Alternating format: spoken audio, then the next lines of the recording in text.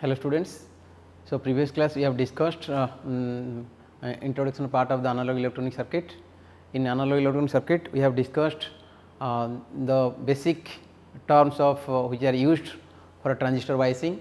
In a transistor biasing we have discussed the proper flow of the zero signal collector current and maintenance of proper base emitter voltage is known as transistor biasing. Then we have then we have discussed what is the Q point or operating point. Operating point is nothing but the zero signal values of IC and VC is known as the operating point or Q point. The point where the transistor is operating is known as the operating point. Then we have discussed that is your stabilization. The stabilization is nothing but the process of making operating point independent of the variation of the transistor parameter is nothing but your stabilization. Then we have discussed that is your load line in output characteristics curve when the load line intersect the output characteristics curve the possible operating the possible uh, intersecting point is your operating point or Q point. So, then today now we will discuss the general expression for the stability factors then uh, after that we have analyzed uh, the various biasing methods. So, now uh, today now we are going to discuss the general expression general expression.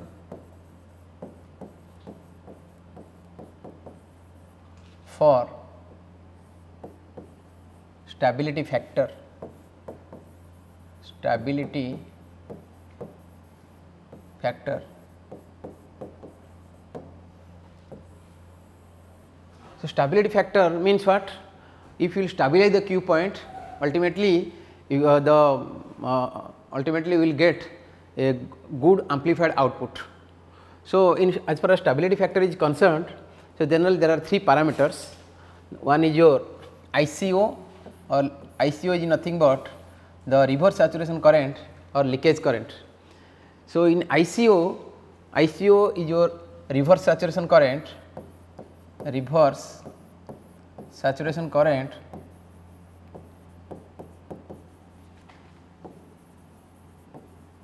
or leakage current. Already I told you what is ICO. So, ICO or ICBO collector to base current when emitter is open. In ICBO or ICO this is your in common base configuration this is your base this is your emitter and this is your collector. ICBO the concept of ICBO concept of ICBO or ICO collector to base current when emitter is open. That means, when the input is open emitter is open collector to base current when emitter is open when emitter is open means input is open the current flow in the output loop that is your ICO or ICBO or ICBO ICO or ICBO if there is input is open, there is no chance the current flow in the output loop. So, if due to some minority charge carrier, very very negligible amount of the current flow in the output loop. So, that is called the leakage current or reverse saturation current ICO or ICBO. So, in ICO as far as ICO is one of the transistor parameters, every 10 degree centigrade rise in temperature ICO doubles, every 10 degree centigrade every 10 degree centigrade rise in temperature rise in temperature ICO or ICBO doubles doubles. So, that means when the transistor is operating the heat is developed within the transistors means temperature increases. So, if the temperature increases if you will not follow a proper biasing method that the transistor will means what? Leakage current will be increases. In the cumulative process of temperature uh, the leakage current the further result will be the transistor may burn. That condition is called the thermal runaway. Thermal runaway. Thermal runaway. What mean by thermal runaway?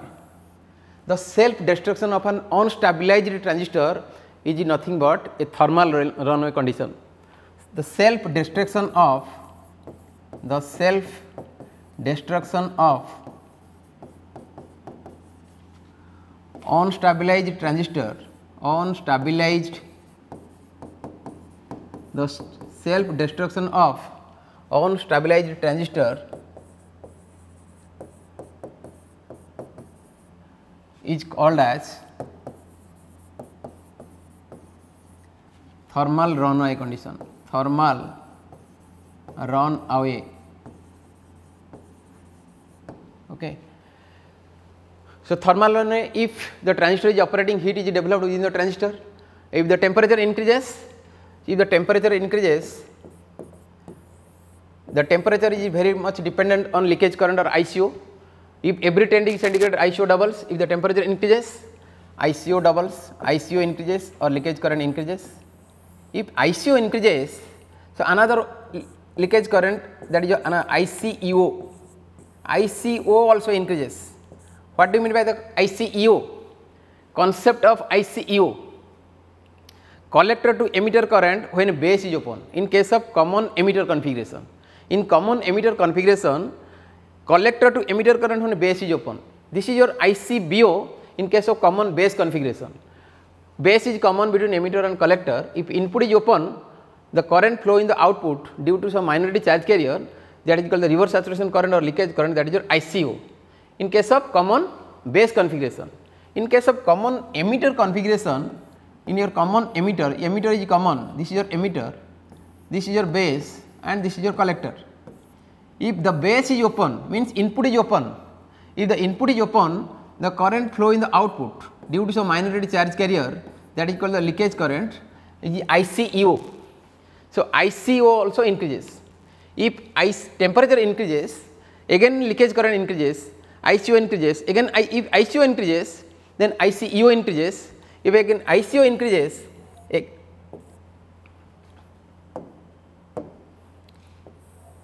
again IC increases, if IC increases again also temperature also increases. So, this cumulative process continues and the matter of second the transistor will burn. So, this condition is called the thermal runaway conditions. So, there is a relationship between ICEO and ICBO. As we know that IC we know that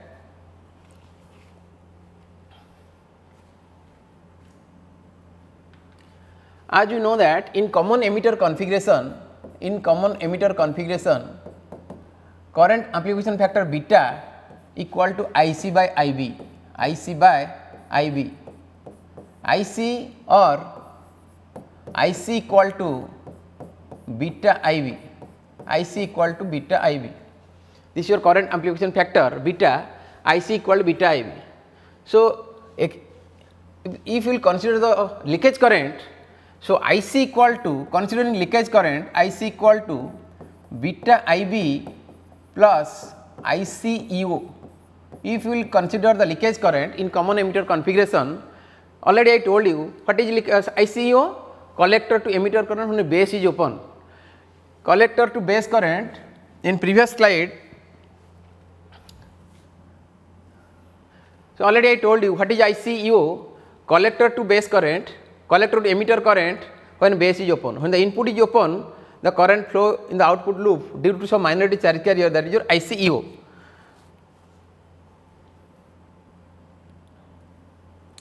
So, here IC equal to beta IB plus ICEO.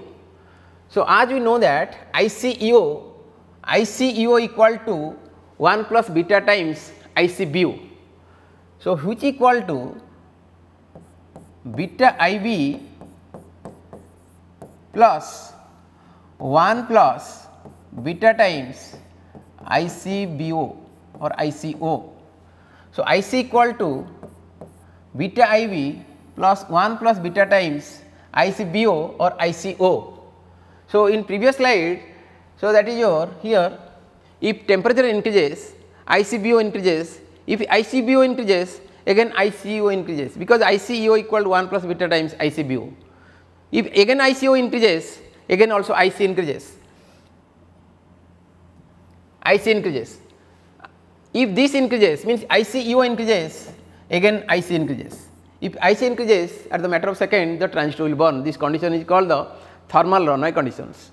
As far as stabilization of the Q point, if you uh, if you develop a proper biasing method, proper biasing circuit so that the transistor parameter or leakage current, if you control the leakage current or ICEO, then ultimately you can stabilize the Q point. It is one of the parameters like your leakage current or reverse saturation current.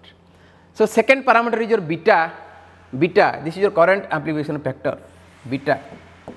So, there are three parameters, one is your leakage current, another one is your beta, then third one is your VB. So, beta is a current amplification factor. So, beta value from transistor to transistor. As we know that beta is a current amplification factor. So, in a same manufacturing company the same materials which are uh, using for uh, to, um, production of a transistor the beta value vary from transistor to transistor. If the beta value is varying or as we know that beta equal to IC by IV, IC by IV. So, beta value vary from generally beta value vary from 50 to 200, 300 like this, 50 to 300 like this. Rem uh, remember if the beta value varies ultimately the current will be changes. If you not follow the proper biasing method that might be operating point or Q point may be shifted towards either cutoff region or saturation region. Already I told you in output characteristics curve this is your y axis is your collector current and x axis is your IC is your VC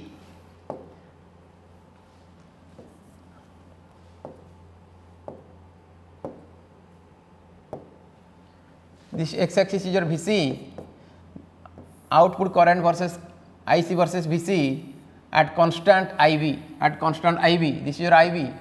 So, IV equal to 5 microampere. So, IV equal to 10 microampere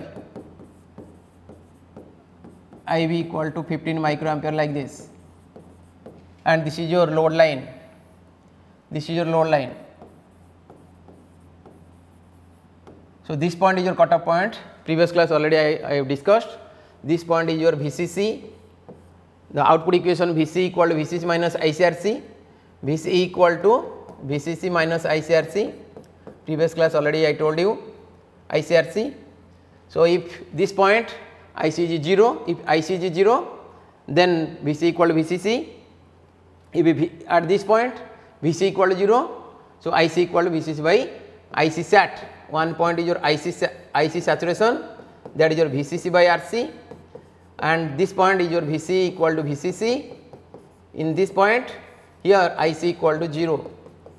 When Ic equal to 0 Vc equal to Vcc this is your cutoff point and this is your saturation point and this is the possible operating point A, B, C like this. So, if you not stabilize the Q point the possible operating point may be your middle of the load line that means the min minimum uh, um, if the IC is 10 milliampere it might have approaching 5 milliampere like this and if VCC equal to 20 volt, VC equal to 10 volt, nearly 10 volt. So, that the Q point must be you can stabilize the Q point. If you not stabilize the Q point, that point may be shifted towards the cutoff saturation region or may be shifted down to the cutoff region. So, if there are three parameters, one is your leakage current ICBO or ICO, another one is your beta.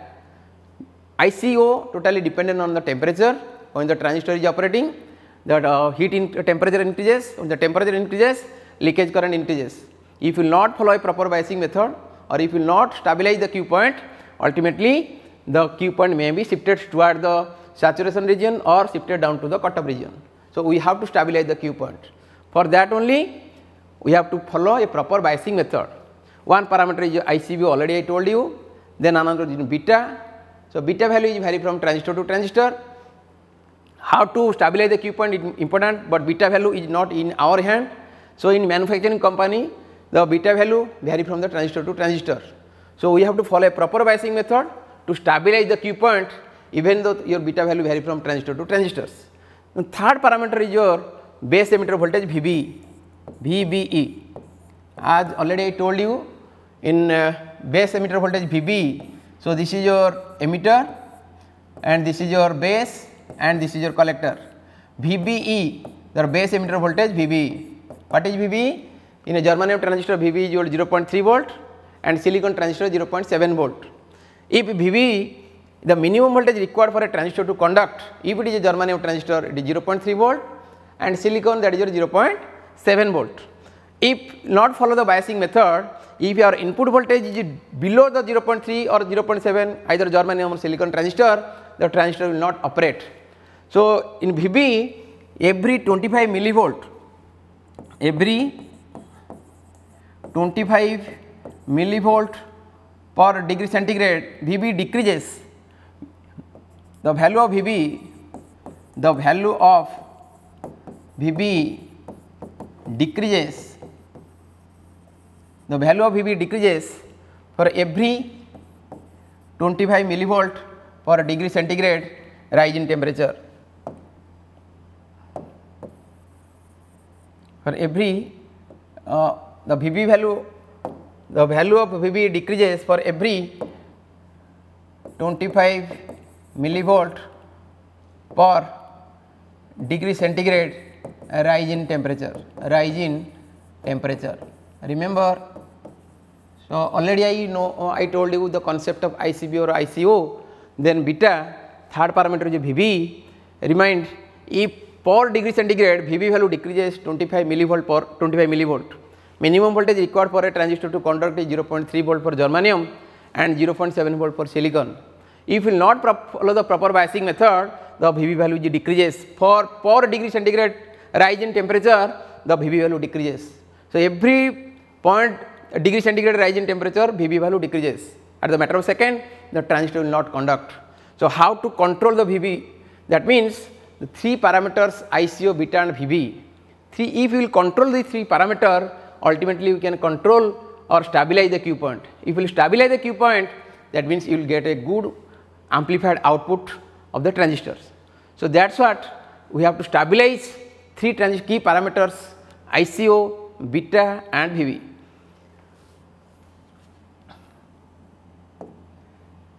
Next the expression for the stability factor, st stability factor expression.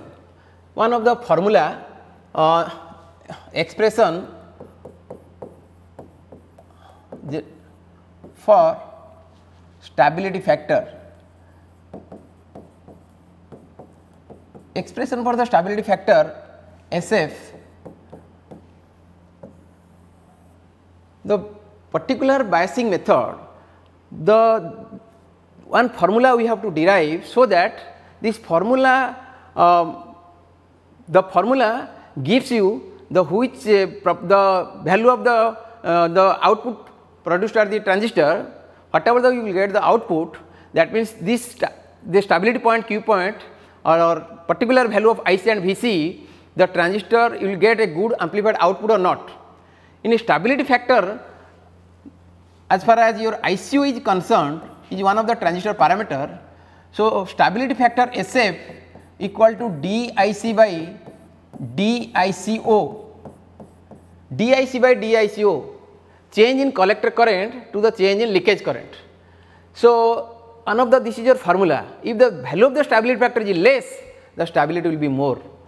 If you control the ICO then you will get you can ultimately control the stability uh, uh, uh, Q point. So, SF equal to DIC by DICO. What, what value of IC that means if ICO is in, uh, the value of ICO if the value of ICO increases or decreases depend on the stability factor. If the ICO increases or decreases, then ultimately you can identify your biasing method is, is more accurate or not.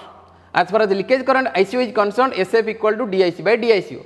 Similarly, beta, if you consider beta one of your transistor parameters, then S of beta equal to DIC by D beta, change in collector current to the change in beta. So, if the beta value changes, how much collector current will increase or decrease that is what the relation is called the S of beta as far as beta is your stability factor uh, beta is your parameters. Similarly, VB base emitter voltage. So, S, S of VB equal to DIC by DVB, DVB.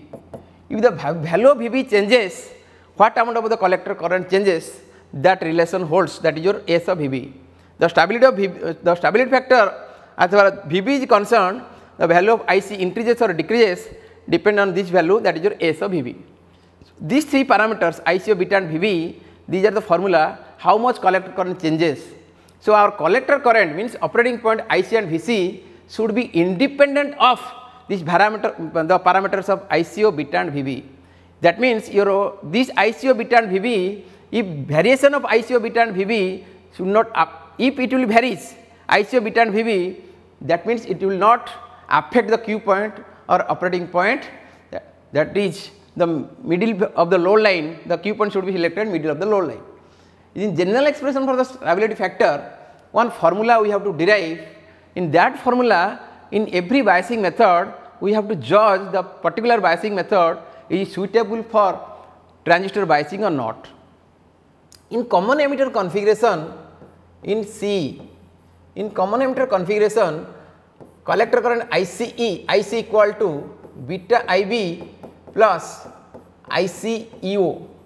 ICEO is nothing but collector emitter current when base is open or we can say beta IB plus ICO is nothing but 1 plus beta ICO, ICO.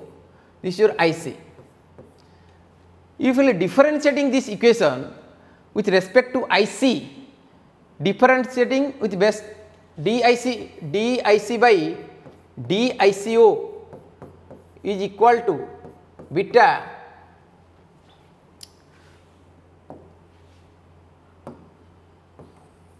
differentiating with respect to IC, differentiating, differentiating, differentiating the above equation, differentiating the above equation with respect to with respect to IC. With respect to IC this will be 1, this is your beta dIB by dIC beta dIB by DIC plus 1 plus beta DICO by DIC. So, this term uh, this is nothing but beta dIB by DIC plus 1 plus beta DIC by DICO is your SF, DIC by DICO is your SF if DICO by DIC equal to 1 by SF. So, this is nothing but 1 by SF is your stability factor. So, this is this is equal to 1. So, here 1 minus beta DIB by DIC equal to 1 plus beta by SF or SF equal to stability factor equal to is how much? SF if this, this, this is one term and this is one term. So, SF equal to 1 plus beta divided by 1 minus beta dIB by DIC, dIB by DIC. This is expression is very very important. This is the general expression for the stability factor. In a stability factor SF equal 1 plus beta divided by 1 minus beta dIB by DIC. So, any, any biasing method there are 4 biasing methods are there fixed bias, collector to base bias or feedback bias, emitter bias and voltage divider bias. So, there are 4 biasing methods. So, with the help of the stability factor we can judge that biasing method